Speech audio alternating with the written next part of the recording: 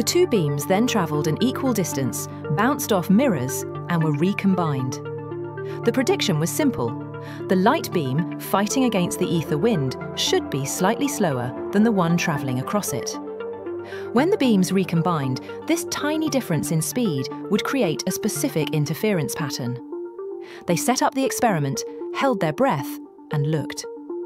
Nothing. There was no interference pattern, no difference in speed.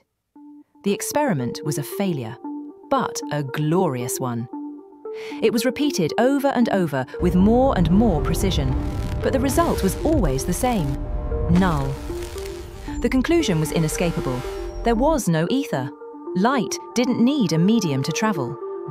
But more profoundly, the speed of light was constant, no matter how you moved or which direction you measured it in. Newton's absolute space and time were an illusion. Physics was in crisis, its foundations torn down. And it would take a young, unknown patent clerk to build something new from the rubble.